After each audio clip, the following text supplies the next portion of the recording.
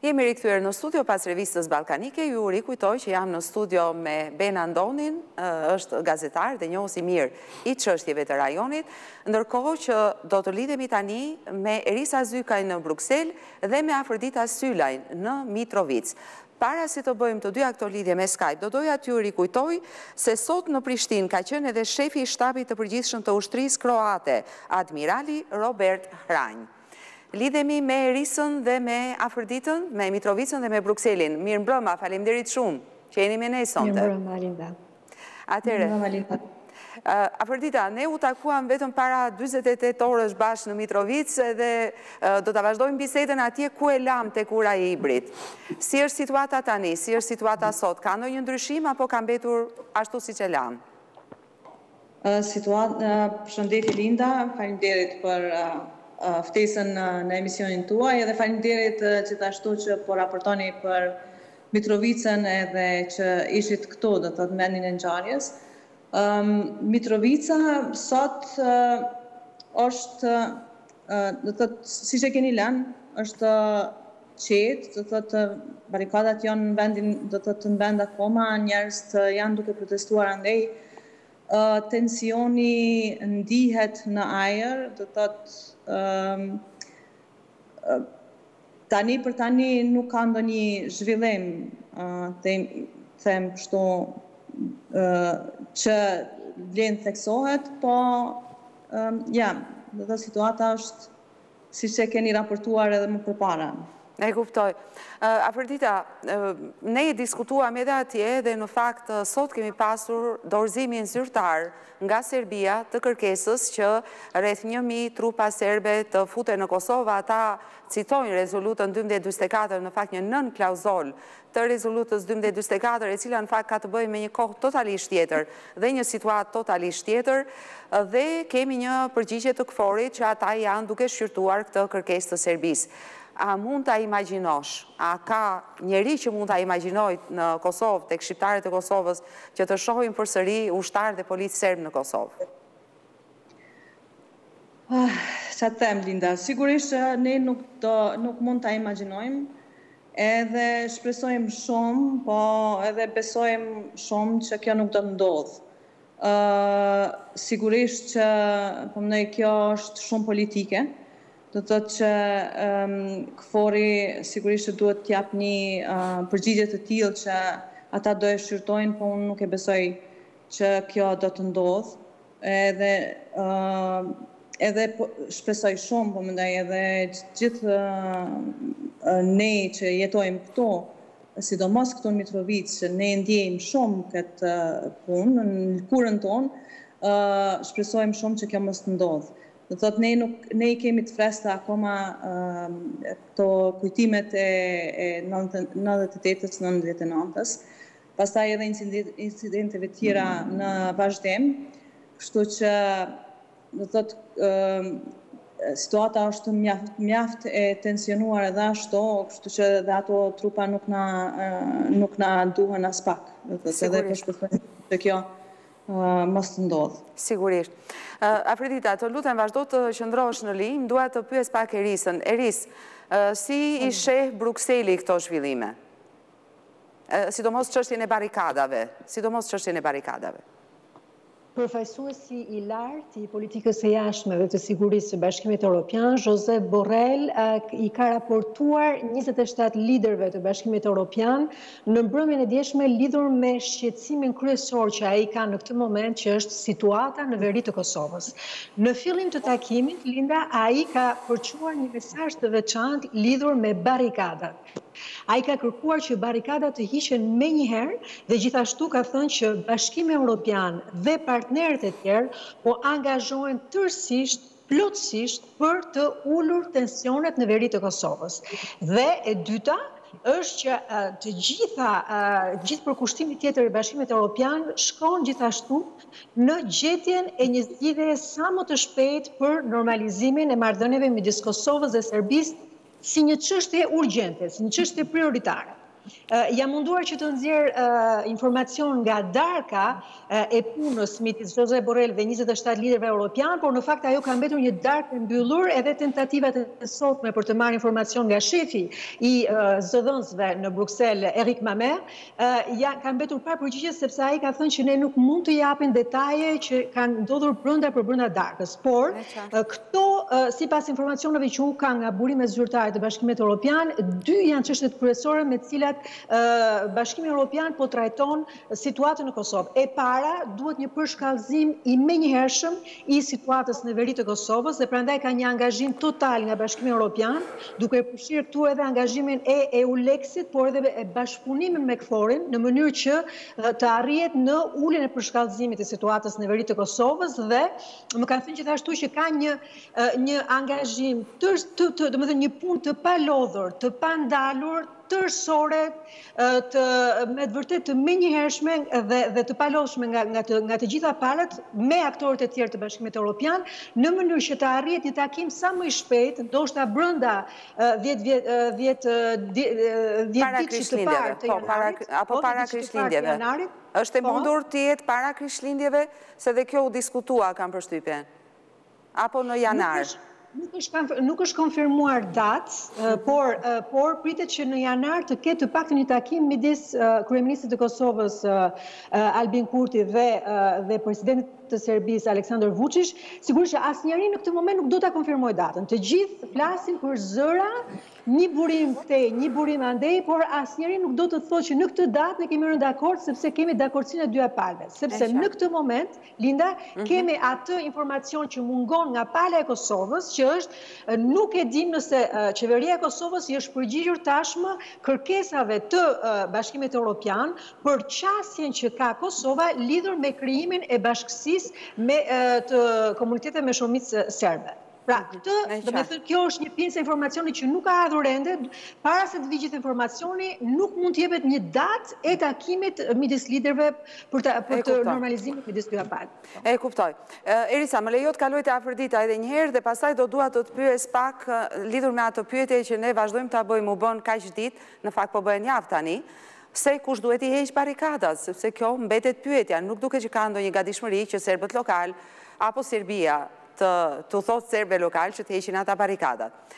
Afërdita, një nga ato kritika që vazhdojnë të bëhen në lidhje me qeverinë e Kosovës, është mungesa e një dialogu të strukturuar të saj me serbët e veriut, por jo vetëm, por jo vetëm të veriut, me serbët, komunitetin serb të Kosovës në përgjithësi. Mendoni që kjo ka pasur mungesa e këtij dialogu, ka pasur dhe ka ndikim edhe në atë që ndodh tani në veri? Do të thotë ne kemi shpresu shumë që një dialog dialog do të thotë lokal ose do të thotë në nivel të Kosovës do të fillojë menjëherë po mendoj shumë ma herët ë sidomos me serbët lokalë këtu mhm. po që do të thotë nuk ka ndodh Nuk ka ndodh po ka ndodh krejt vonë ka fillu në vetëm kur do thot në qershor të këtij viti ka fillu me disa akterë të shoqërisë civile me disa biznese po që nuk janë nuk janë të mjaftushme nuk kanë qenë të mjaftushme dhe kanë fillu në një kohë kur kanë do thot vetëm tensionet kanë qenë do thot goxha lart për shkak të tabelave që filloi do të thotë situata e tabelave në qershor. Edhe kur vetëm atëherë kanë fillu disa prej takimeve me disa prej akterëve, edhe sigurisht që situata e tanishme, po mendoj reflekton edhe ato, edhe këta, po unë besoj shumë që do të thotë situata e tanishme është ka të bëjë ma shumë me marrëveshjen e cila duhet të që do të thotë ka pas presion sidomos prej bashkësisë ndërkombëtare dhe ka presion të vazhdueshëm prej bashkësisë ndërkombëtare që marrëveshja finale të të zgjidhet, të nënshkruhet në mes Serbisë dhe Kosovës. Mhm. Kështu që tensionet tensionet e tanishme janë sigurisht si si rezultat i asaj, po një dialog me komunitetin serb është dashtë me fillu shumë shumë ma herët.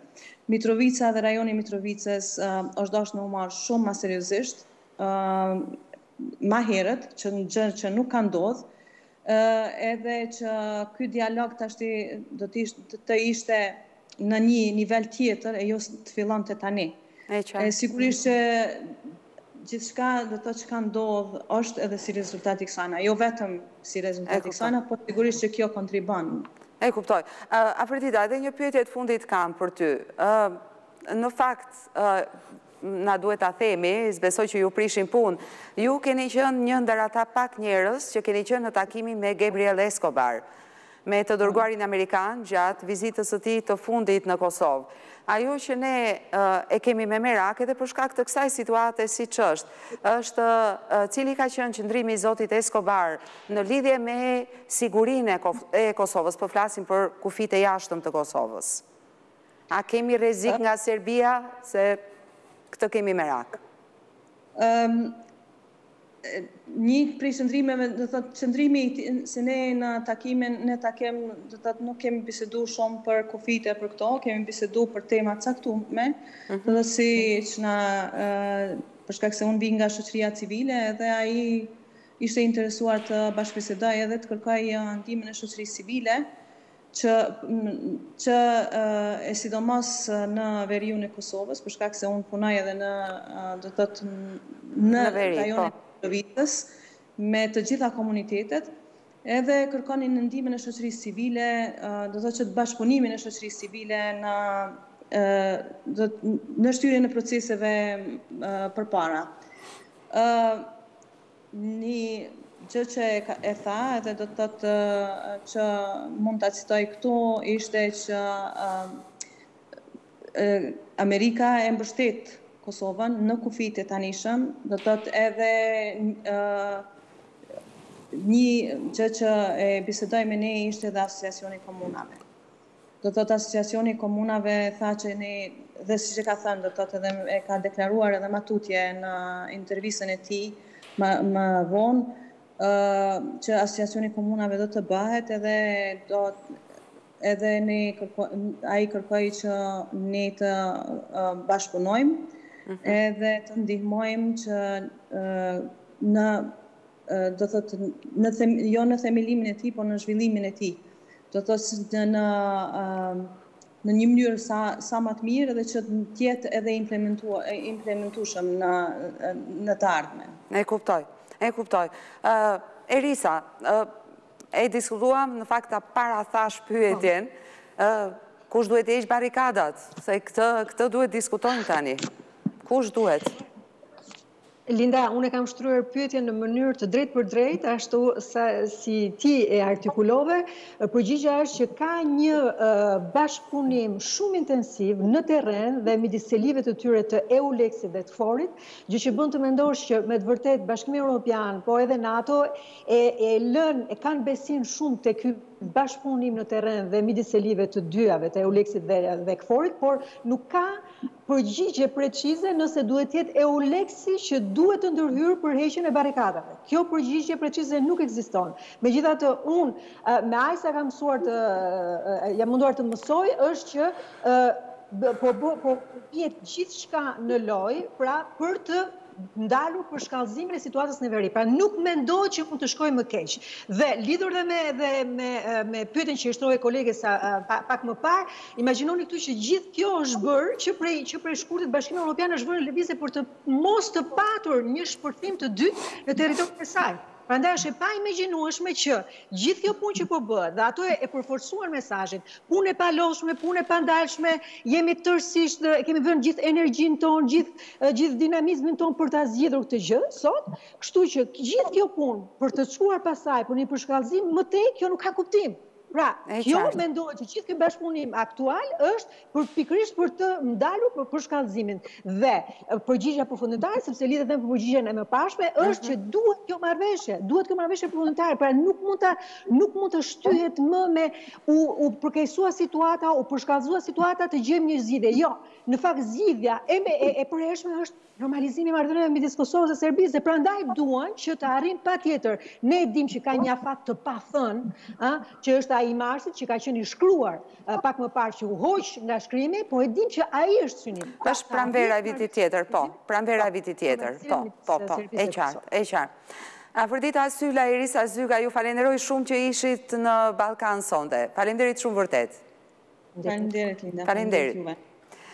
Atëherë, miqtë e mi rikthehemi në studio, jam me Ben Andonin, do vazhdojmë të diskutojmë në fakt të njëjtën temë, sepse ky ka qenë dhe zhvillimi kryesor, kemi edhe probleme të tjera hotspote në Ballkan, por ky i Kosovës sigurisht është zhvillimi kryesor. Beni, unë dua që të vazhdoj pak a shumë në të njëjtën fushë, po pyetjen ta kam pak më ndryshe. Mendimi në përgjithësi i njohësve të asaj që ndodh në Kosovë dhe veçanërisht në veri të Kosovës është që palët në një farë mënyre po, po përpiqen që të përfitojnë për të forcuar pozicionet e tyre negociuese për marrëveshjen përfundimtare të normalizimit të plotë të marrëdhënieve Kosovë-Serbi.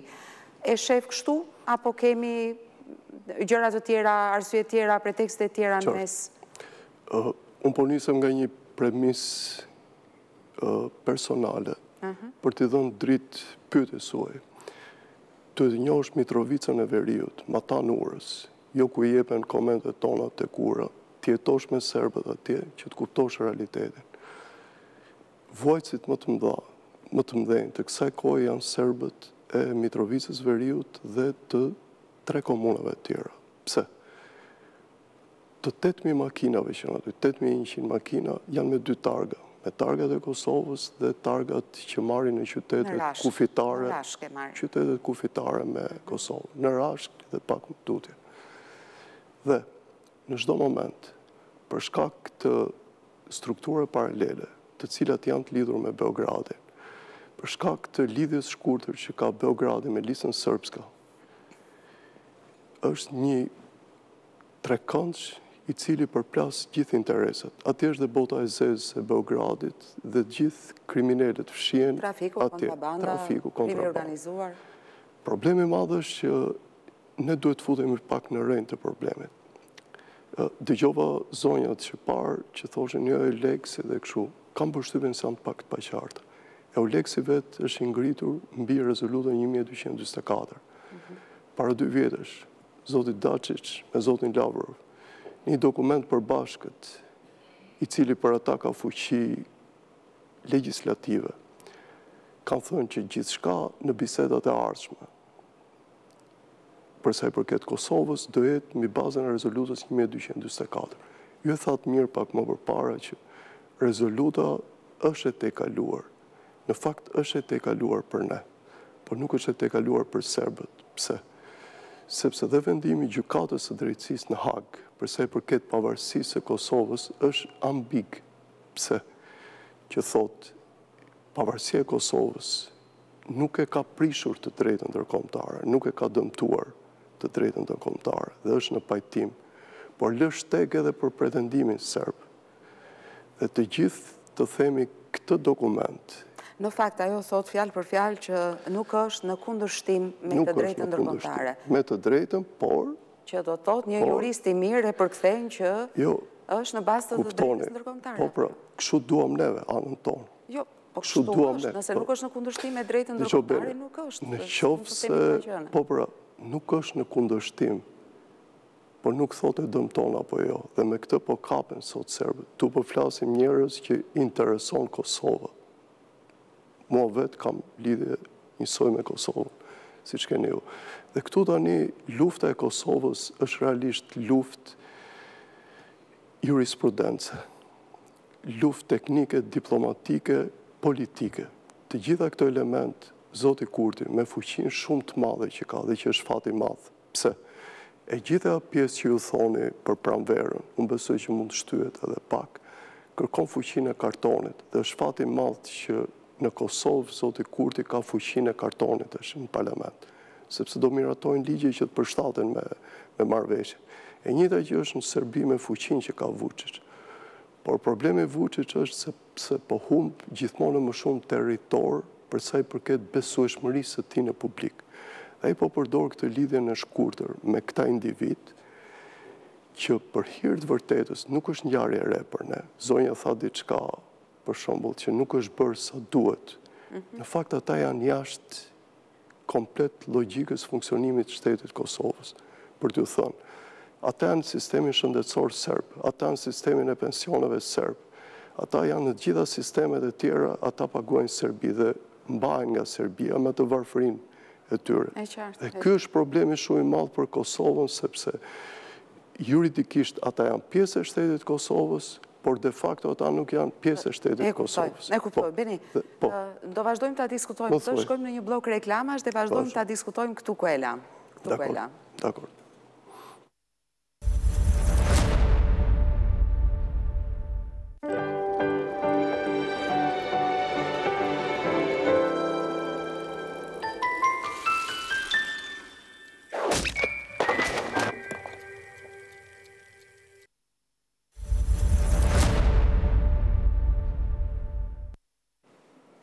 Jemi rikthyer në studio pas këtij blloku reklamash, jam me Ben Andonin, është gazetar dhe njohës i mirë i rajonit.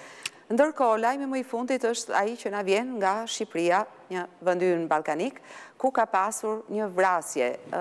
Sapo të kemi një material gati qoftë edhe një sinkron, Do ta transmetojmë brenda Ballkanit tonë, ndërkohë unë do të vazhdoj bisedën në studio.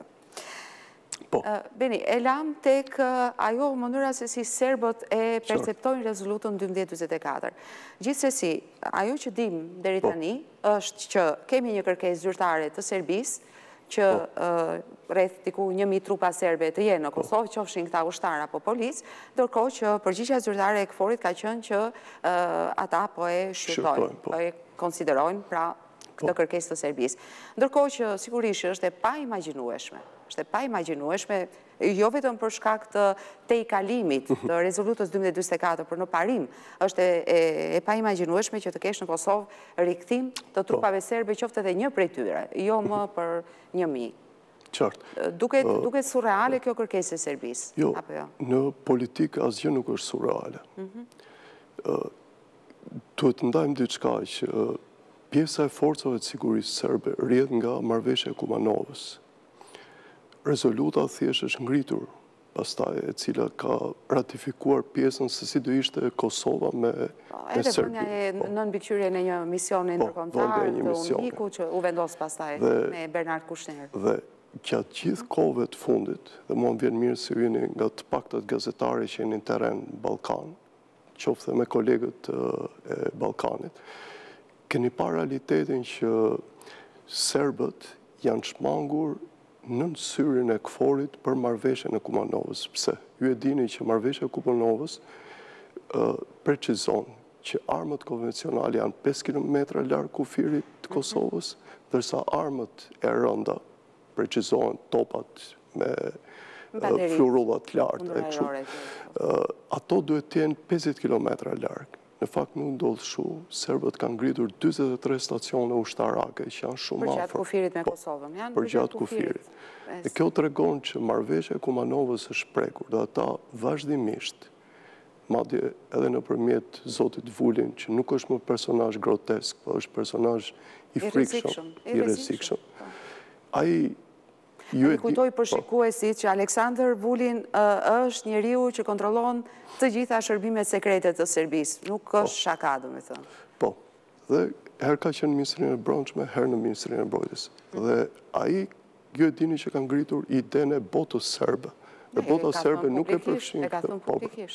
Dhe e ka thënë para, e ka thënë madje, e kanë deklaruar në fakt në fushatë politike, po në prezencë të presidentit të vendit. Dhe kjo e bën shumë ambige të gjithë qasjen. Po ne hidhemi te pyetja juaj me të drejtë.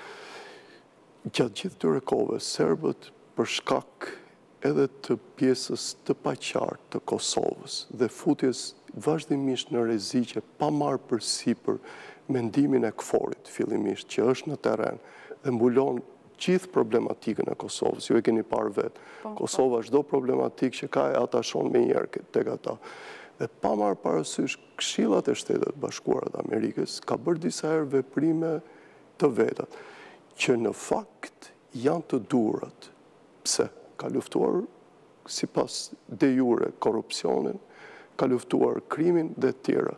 Por në një territor që për fatin e keq de jure është i Kosovës, por de fakto nuk është i Kosovës, sepse ju e dini që në kohën e luftës trupat franceze kanë qenë atje dhe përfundimisht ajo pjesë është pjesë e cila Nuk është në administrimin e Kosovës. Nuk është vënë plotësisht në kontrollin e Kosovës, sepse nuk mund të jo, themi nuk është e Kosovës. Jo, këtë po themi pra, është në autoritetin de jure të territorit kosovar, por de facto është jashtë Kosovës. Shiko, Beni, po. edhe për ta qartësuar pak, me marrëveshjet e 2013-ës po. dhe 2015-ës, ne patëm integrimin e serbëve të veriut në institucione. Pra, le të themi, Prishtina po. zyrtare ishte e pranishme në veri. Për aq sa ishte, nuk po vëmë në dyshim nëse besnikëria e serbëve të veriut ishte apo nuk ishte me Kosovën, por të paktën kishin një lloj integriteti. Këtu ishte kleçka sepse në 2013-ën u miratua asociacioni, në 2015-ën filloi, por atje ishte pjesa serbe e cila... Nuk filloj kurrë në fakt, asociacioni nuk po, është zbatuar asnjëherë. Mirë, nuk është po. zbatuar... Patëm një vendim të gjykatës kushtetuese në 2015. Po, po më lër pra, po. një moment, këtë po dua të të shpjegoj, që de jure filloj dhe ata bënë organizimin e tyre, sepse vetëm kështu ata do filloni bënin organizimin. Dhe prandaj 4 komunat e veriut janë shumë të lidhura me njëra-tjetrën, sepse janë organikisht të lidhura. Ndërsa presioni që bëri opozita e atëhershme kosovare, me të drejtë, me, sidomos me Vetëvendosjen. A Zajednica nuk kalon. Po, që Zajednica nuk duhet të shkojë më edhe siç po drejtohen katër komunat e veriut që funksionojnë bashkë, e keni parë, që janë komplet në zotërimin politik të Listës Serbska, po të shtrihet deri në Fushë Kosovë dhe matanë. Dhe në ndarjen territoriale që bëri Kosova dhe komuna ku ka shqiptarë, maxhorancë, po që ka serbë dhe ato serbët mundoheshin t'i quanin si komuna me serbët që janë pjesë e tyre. Në fakt kjo nuk ndodhi për fatin e madh, siç e thatë ju, dhe Gjykata Kushtetuese e Kosovës ktheu 23 nene, por la gjithmonë të hapur që këto të rishikoheshin. Këto kuptohet nuk u rishikuan, por problemi është se marrëveshja është e firmosur nga të dyja palët Dhe marrëveshja është dakordësuar nga dy njerëzit e atëhershëm që ishin më të fortët politikisht, moralisht mhm. dhe të themi nga ana e ekzekutivit në Kosovë, që ishte zoti Thaçi dhe zoti Haradinaj. Më falni, Një gjë e tillë nuk vazhdoi më për shumë arsye të tjera dhe serbët vazhdimisht kanë ngritur barikada ose presioni më i madh ishte presioni që bënë me sheshin e paqes, që atëherë nuk ishte sheshi i paqes, po ishte thjesht ura. Dhe Europa, Bashkimi Europian bëri një sens shumë të mirë që në kuadrin e një lloj instalacioni urbanistik urën e quajti dhe urën pjesën pas pa shkuar në monumentin e Car Lazarit, ta quanin sheshin e paqes. Kral Petar, po. Po, ta quanin sheshi i paqes. Në fakt, simbolikisht, ai quhet prapë sheshi i paqes, po nuk është. sheshi i paqes. Po në fakt sheshi i paqes, kur barriera e betonit po. që ndan qytetin dhe është... Por është e ndarë. është fiks në fillim të urës së Ibrit nga krahu po. i Mitrovicës së Veriut, vazhdon të jetë aty. Gjithsesi, gjithsesi, edhe për ta qartësuar pak për po. shikuesit, domethënë, edhe në pjesën e Mitrovicës së Veriut, që është komunë me shumicë serbe, ku sipas të dhënave që na kanë dhënë zyrtarët lokalë, raporti etnik apo po. ndëretnik është diku 75 me 25 në favor të serbëve. Po. Megjithatë aty kemi të paktën dy dy lagje, të cilat po. në të cilat kemi komunitete shumetnike, pra shqiptarë, boshnjakë, turq, romë. Pra nuk është se është kaq homogjene e gjitha. Kjo është pjesa më skajore. Pjesa më e paprekur e e Mitrovicës jo, nuk e prish. Jo, nuk është e paprekur në fakt. Jo, nuk është e paprekur se po, po të kemi parasysh që ngjarjet më të rënda që kanë ndodhur pas luftës po. në raport me shqiptarët, po them, kanë ndodhur pikërisht po, në Mitrovicën e Veriut te tre Rrokaqiejt, si quhen atë kohë kur u dëbuan shqiptarët dhe nuk është se pati një reagim të fortë të KFOR-it francez në atë kohë për t'i mbrojtur ata. Po pati Të shi, po. në qofë se do më lësh se jam dëshmitar i 2005-ës, po. kam qenë atje. Edhe një herë po ju them, pjesa shqiptare, boshnjake dhe rome, është në skaj të qytetit. Problemi i madh në 2005-ën ka qenë që shqiptarët i nxorën nga soliterët, që ishin ato pallatet në kullat që janë në Mitrovicë që ashtu, dhe për fatin e keq askush nuk mund t'i dilte zot sot, sepse forcat e pakta franceze, kishte dhe polakë, nuk kishin mundësi dhe nga ana tjetër, nuk kishin dhe tagër për të ndërhyrë, patën tagër vetëm të mbronin jetën e shqiptarëve sa mundeshin.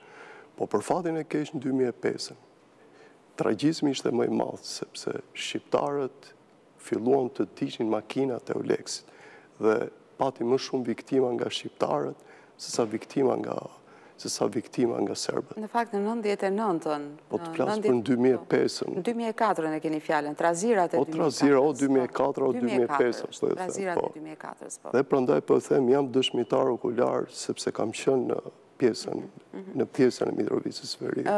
Po, po vini, t'i rikthehemi po. pak kësaj qasjes të qeverisë së Kosovës. Po. Përshtypja e shumë njerëzve është që janë marrë me pjesë teknike në marrëdhëniet me Serbinë, siç ishte çështja e letërnjoftimeve, pastaj çështja e targave, tani e kemi situatën praktikisht, ku nuk është se kemi ndonjë kontroll, qoftë edhe as një për qind të Prishtinës në veri. Ndërkohë që shumë njerëz mendojnë që qasja duhet të ishte e orientuar dhe e drejtuar nga marrëveshja përfundimtare për normalizim të plotë të marrëdhënieve midis Kosovës dhe Serbisë. Mendoni që qasja e qeverisë së Kosovës ka qenë e duhur apo jo? Nuk ka qenë pikërisht e duhura.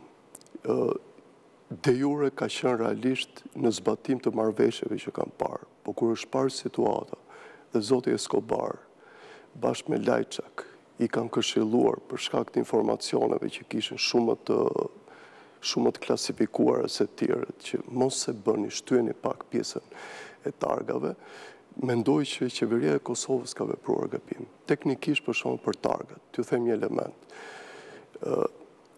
I gjithë zbatimi i procesit të gjobave për targave që ishte në tre, në tre shkallë, ju e dini që administrohesh prap nga serbët në veri. Dhe ju e dini që për shkak të besueshmërisë që ata kanë, më shumë ndaj Beogradit se sa qeverisë së Kosovës, sepse shumë marrin, marrin dy rroga, ata nuk do e zbatonin asnjëherë këtë. Dhe imazhi i qeverisë së Kosovës do binte jashtëzakonisht, duke pasur përballë një personazh aspak serioz si Vuçiç, i cili, unë them, nuk është vetëm grotesk, por është një person i cili Mitrovicën e Veriut po e shkatërron dhe gjithë Kosovën, këtë pjesën e veriut, për interesat e veta dhe konsumin e brendshëm, arriti gjithmonë që ta shtynte këtë artificë kundër Qeverisë së Kosovës dhe në një farë mënyre Qeveria e Kosovës u peshkua dhe përcolli atë dëmin shumë të madh të largimit të pjesës së drejtësisë dhe pjesës së policisë. Ju më pyetët realisht që ishte e duhura, patjetër ishte e duhura, sepse është firmosur. Por, në momentin që shteti amerikan, nëpërmjet përfaqësuesit të vet, duke e ditur shumë mirë të gjithë rrjedhën e ngjarjeve, të thotë që duhet bërë kështu, duhet ta bësh kështu. Ka një fakt pozitiv për Kosovën tashi në këtë moment, që duhet ta shikojmë me shumë pozitivitet. Pala serbe ka filluar ta shikojë shtetin amerikan si forcën madhore që duhet t'i japi fund mosmarrëveshjes me Kosovën. Ose status quo-s. Për të larguar status quo-n. Dhe ky është fat i madh për ne që duhet të fitojmë jashtëzakonisht kohë. Dhe për shembull, më erdhi keq duhet të dëgjoja nga zonja në Kosovë. Ju e dini që një nga këshillat që i ka dhënë zoti Eskobar tani në Kosovë ishte që Gjykata Kushtetuese e Kosovës ju e dini që i ka dhënë të drejtë Manastirit të Deçanit, po, që është po, simbolik, ju e dini forcën e Manastirit të Deçanit në jetën shpirtërore fetare të Kosovës për komunitetin serb. Gjykata Kushtetuese ka kthyer tokat që ia ka kërkuar, ndërsa ekzekutivi nuk ia jep dhe kundërshton. Një shtet i cili kundërshton gjykatën kushtetuese tregon që ka probleme. Dhe nga ana tjetër, është pjesa e cila prek atë pjesën e bashkimit, të themi, të interesave të Kosovës me Shtetet e Bashkuara të Amerikës. E me ça shikoj Shtetet e Bashkuara të Amerikës po tregohen shumë të kujdesshëm, megjithatë deklarata ka lënë shumë shteg për t'u diskutuar e zotit Escobar, që do flasim me aktorë të tjerë, në qoftë se ju nuk do të vazhdoni. Në fakt e ka thënë fjalë për fjalë, po. nëse nuk e bën qeveria e Kosovës, po. atëherë do të punojmë me aktorë alternativë. Po. Kjo është shumë e rëndësishme, sepse në diplomaci këto fjalëzat tregojnë shumë se...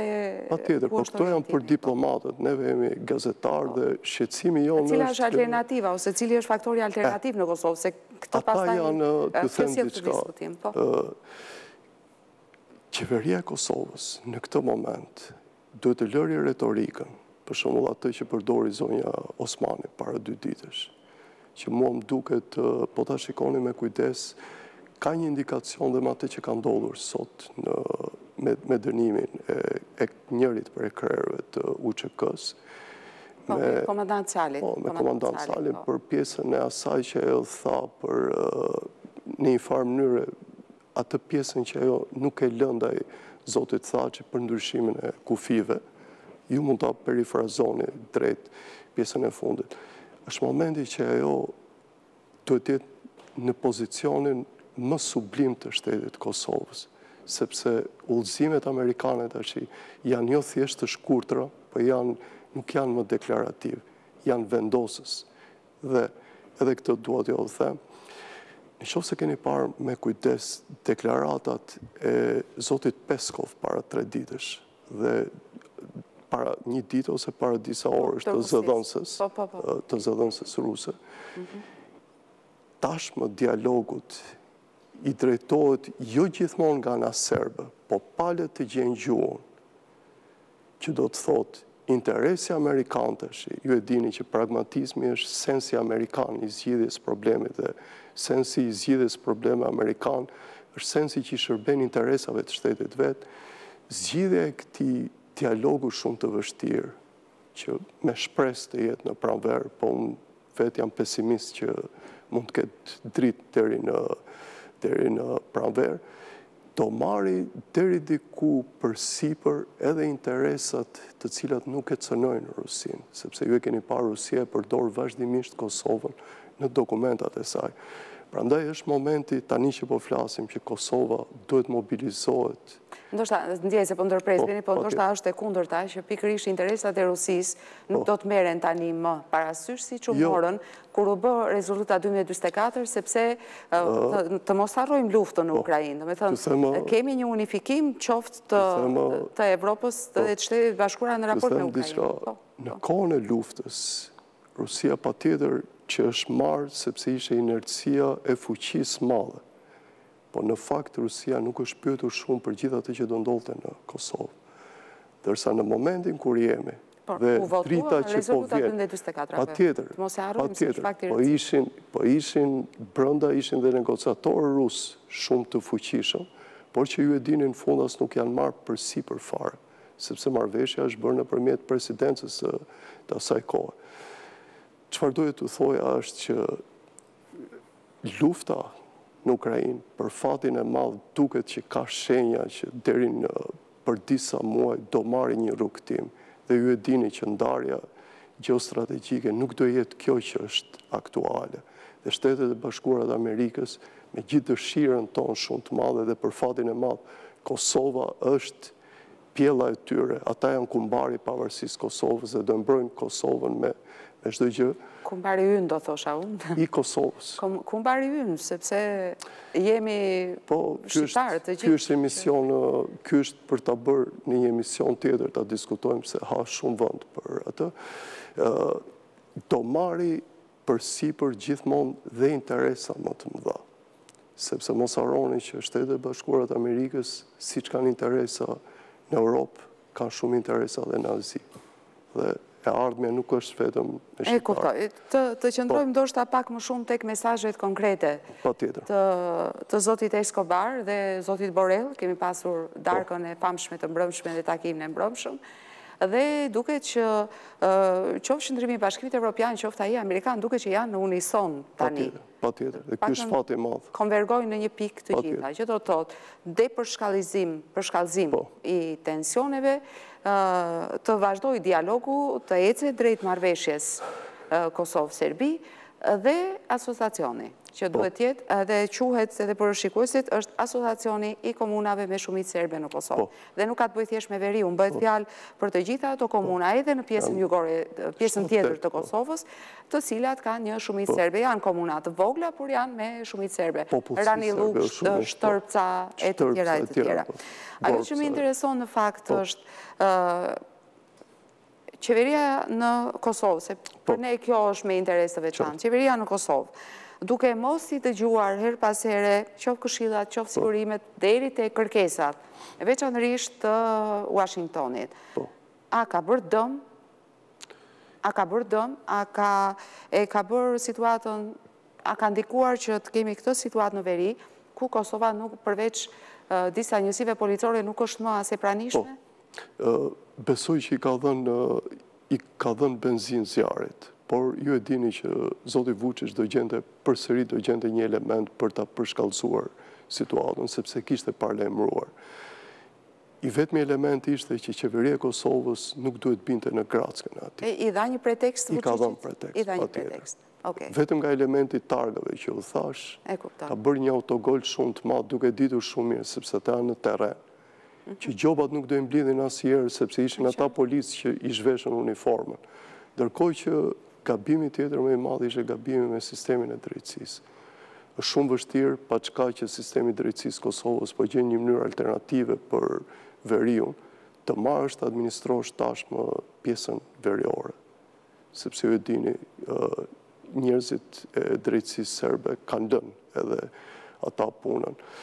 Por, nga ngjarjet realisht në Mitrovicën e veriut, më të humbur realisht kanë qenë, siç thatë, serbët lokalë, po, po edhe shqiptarët lokalë. Sepse kemi... Njerëzit që banojnë në atë pjesë të përformës, po. Linda, dhe ju e prekni Kosovën tani shumë më tepër se unë, nuk dëgjoj më asnjë problem të brendshëm të Kosovës, që ka probleme pa fund sociale, ka probleme pa fund ekonomike. Po, po, të zhvillimit, dhe ne, dhe të zhvillimit, absolutisht. Po. Dhe ti dëgjon vetëm pjesën e dialogut. Dhe mos harroni, ka një pandershmëri, dua ta them, ndoshta kjo është fjalë e tepruar nga qeveria Kurti. Në momentet kur erdhi, ju e dini dialogu ishte në vendin e shtatë. e ngjiti në vendin e katër, tashti e ka bërë prioritet. bërë në vendin e parë, ta bëjë prioritet. Patjetër, po ne nuk dëgjojmë më asgjë për zhvillimin e Kosovës. Dhe gjëja tjetër e cila është shqetësuese, nuk është më ajo që ishte në fillimet mbas luftës, mbas vitit 99, kur 90 e pak përqind e kosovarëve thoshin bashkim me Shqipërinë. Tashi nuk është kjo përqindje kaq e madhe. Le ta diskutojmë këtë kur të kemi po, një sondazh të besueshëm, të besueshëm të cilit mund të i referohemi. Ben Andoni, falemderit shumë që ishe në Ballkan dhe për të gjitha komentet dhe shpjegimet. Miqtë e mi, para se të them atë fjalinë time me të cilën e mbyll gjithmonë Ballkanin, dua t'ju rikujtoj se gjatë fundjavës, Do të mund të ndiqni në ABC News një reportazh goxha të gjatë në fakt, në lidhje me atë që kemi parë në veriun e Kosovës, barrikadat, nga ajo çka kemi biseduar me njerëz, çfarë po ndodh atje me policinë e Kosovës, është një material shumë interesant i quajtur barrikadimi i veriut. Në fakt, Në këtë reportazh që do të mund ta ndiqni e ritheksoj gjatë fundjavës, do të mund të shikoni edhe në pamjet tona filmike çfarë ndodh në ato barrikada, si reagojnë serbët që i menaxhojnë ato barrikada dhe çfarë thonë në Prishtinë për atë që po ndodh. Ky ishte pra edhe Ballkani edhe për sonte. Unë jam Linda Karadaku, bashkë do të rishihemi si zakonisht të premten tjetër në të njëjtën orë. Vazhdoni të shikoni ABC News dhe natyrisht platformën tonë abcnews.al.